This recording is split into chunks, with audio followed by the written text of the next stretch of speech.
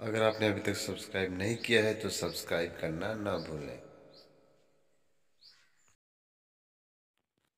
चलो my dear students आज हम जानेंगे एम एस विंडोज़ के बारे में। ऑलरेडी हम जानते हैं कंप्यूटर के दो पार्ट हैं, एक हार्डवेयर एक सॉफ्टवेयर हार्डवेयर जो फ़िज़िकल पार्ट जिनको हम छू सकते हैं, और सॉफ्टवेयर वो सारे प्रोग्राम होते हैं, जो कंप्यूटर के अंदर वर्क करते हैं। सॉफ्टवेयर दो टाइप के हैं एप्लीकेशन और सिस्टम एप्लीकेशन जिस पे हम काम करते हैं और सिस्टम जो कंप्यूटर अपने आप को मैनेज या कंट्रोल करने के लिए यूज़ करता है। उसी में से एक है ऑपरेटिंग सिस्टम। ऑपरेटिंग सिस्टम बहुत सारे होते हैं जो हम कंप्यूटर में अपने लोड कर सकते हैं। नॉर्मली हम आज पढ़ेंगे एम एस विंडोज़ के बारे में जो कि एक ऑपरेटिंग सिस्टम है, यानी एक तरह का सिस्टम सॉफ्टवेयर है। यानी ये कंप्यूटर हार्डवेयर और हमारे बीच एक एक बिचौलिए मीडिएटर का काम करता है, यानी हमारी बात को हार्डवेयर को समझाता है। यानी हमें अगर प्रिंटर से कुछ प्रिंट कराना हो तो हम डायरेक्ट प्रिंटर से कुछ नहीं कह सकते। हम जब उससे कुछ कमांड देंगे, तभी ऑपरेटिंग सिस्टम हार्डवेयर से कह के उसको प्रिंट कराएगा। राइट कुछ एप्लीकेशन सॉफ्टवेयर होते हैं जिस पे हम काम करते हैं। उस एप्लीकेशन सॉफ्टवेयर में आपने माइक्रोसॉफ्ट वर्ड यूज़ किया होगा पेंटिंग यूज़ किया होगा या गाने वगैरह सुनते हैं, वो सब एप्लीकेशन सॉफ्टवेयर हैं।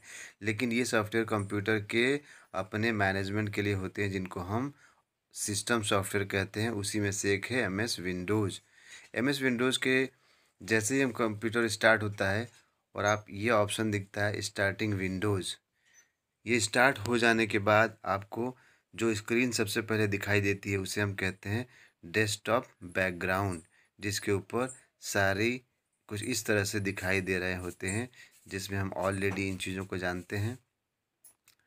लाइक यहाँ पे हमारे ये सब छोटे छोटे आइकॉन्स हैं, ये हमारा बैकग्राउंड है, ये हमारा स्टार्ट मीनू है, नीचे लंबा सा टास्क बार है, इधर सिस्टम ट्रे है, ये सारी चीज़ों को हम ऑलरेडी जानते हैं। हम जानते हैं, आइए आगे बढ़ते हैं कि अगर हमें जो बैकग्राउंड जो ये विंडोज़ का बैकग्राउंड दिखाई दे रहा है, इसको हम चेंज करना चाहते हैं तो कैसे कर सकते हैं?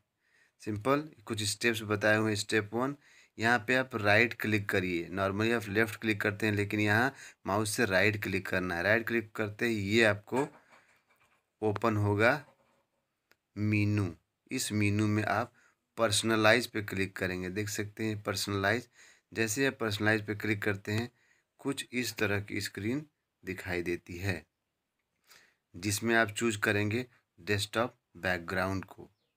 जैसे डेस्कटॉप बैकग्राउंड पर क्लिक करेंगे, आपको बैकग्राउंड से रिलेटेड बहुत सारी पिक्चर्स आ जाएँगी। उन पिक्चर्स में से आप अलग अलग यहाँ से टाइप भी चूज़ कर सकते हैं और जैसे ही आप किसी पिक्चर पर क्लिक करेंगे और नीचे सेव चेंजेस पे क्लिक मारेंगे, आपके सिस्टम का डेस्कटॉप का कलर चेंज हो चुका होगा। कलर से मतलब है उसके बैकग्राउंड से पिक्चर बदल चुकी होगी। तो इस तरह से आपने देखा कि राइट क्लिक करके आपने पर्सनलाइज और डेस्कटॉप बैकग्राउंड और उसमें से अपने हिसाब का आपने चूज़ कर लिया। इस तरह से अगर ये तो आप सिस्टम में हो गया कंप्यूटर में, लेकिन अगर आपके पास टैबलेट है तो टैबलेट में भी आप अपने वॉलपेपर को चेंज कर सकते हैं। उसके लिए आप सिंपली टैबलेट में नीचे इस तरह का आइकन दिखाई देगा। जैसे ही उस उस पर आप क्लिक करेंगे, उस लिस्ट में, एक लिस्ट खुलेगी। उसमें से वॉलपेपर ऑप्शन को चूज़ करना है। वॉलपेपर ऑप्शन को चूज़ करते ही नीचे आएगा set wallpaper set wallpaper right आप देख सकते हैं। जैसे ही आप यहाँ पहुँचेंगे तो आएगा सेट वॉलपेपर इसमें से अपनी इच्छा का जो आपको वॉलपेपर दिख रहा हो, वो आप चूज़ कर लेंगे तो आपके टैबलेट का भी डेस्कटॉप चेंज हो जाएगा। इस तरह से आप अपने टैबलेट को भी यूज़ कर सकते हैं। नेक्स्ट है, देखिए, गॉर्डन मूरे और रॉबर्ट नोएस ये दो लोगों ने मिलके दुनिया की सबसे बड़ी micro processor company Intel Intel को का आविष्कार किया, यानी बनाया, इस कंपनी को फॉर्म किया। इंटेल का फुल फॉर्म है इंटीग्रेटेड इलेक्ट्रॉनिक्स। इसको फाउंड किया गया 1968 में याद करने वाली बात है गॉर्डन मूरे और रॉबर्ट नॉयस इन दोनों ने दुनिया की सबसे बड़ी माइक्रो प्रोसेसर कंपनी जो सीपीयू बनाती है, उसका आविष्कार किया, जो कंप्यूटर का दिमाग होता है। आगे बढ़ते हैं स्क्रीन सेवर अगर आप स्क्रीन सेवर यूज़ करना चाहते हैं स्क्रीन सेवर वो चीज़ है जो सपोज़ कीजिए आप थोड़ी देर के लिए कंप्यूटर ऑन किए हैं और बैठे हुए हैं और उस उस बीच में आप कुछ काम नहीं कर रहे हैं। जैसे ही आप कुछ समय तक रुकते हैं ऑटोमेटिक देखते हैं कि स्क्रीन पे आपके कुछ होने लगता है। कुछ या तो कोई पिक्चर चलने लगेगी या कुछ डिज़ाइंस घूमने लगेगा इस तरह से। इसी को स्क्रीन सेवर कहते हैं।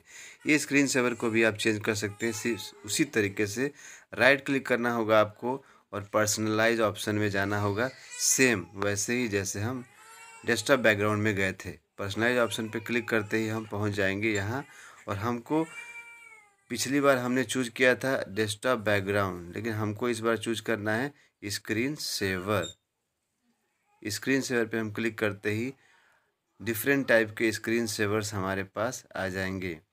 इनमें से जिस भी हम सपोज़ कीजिए हम बबल चूज़ करते हैं तो आपके स्क्रीन पे बबल बनने लगेंगे जब आप थोड़ी देर के लिए बैठेंगे, क्योंकि इसकी टाइमिंग भी सेट हो जाती है। अगर आपने सपोज़ कीजिए टेक्स्ट चूज़ किया है तो जो टेक्स्ट आप लिखेंगे, वही टेक्स्ट पूरे उस पर दिखाई देते रहेगा। यानी आपने ए लिखा है तो ए घूमता रहेगा उस पर इसी को हम स्क्रीन सेवर कहते हैं। कोई फ़ोटो भी आप चूज़ कर सकते हैं। उन फ़ोटोज़ को, जैसे ही आप कुछ समय के लिए बैठेंगे, वो फ़ोटोज़ उस पर आने लगेंगे ऑटोमेटिकली तो इस तरह से हम स्क्रीन सेवर की भी सेटिंग कर सकते हैं। उसी पर्सनलाइज ऑप्शन के द्वारा ही जाके हम इसको कर सकते हैं। उसी पर्सनलाइज ऑप्शन के द्वारा हम विंडोज़ का अपनी कलर भी चेंज कर सकते हैं।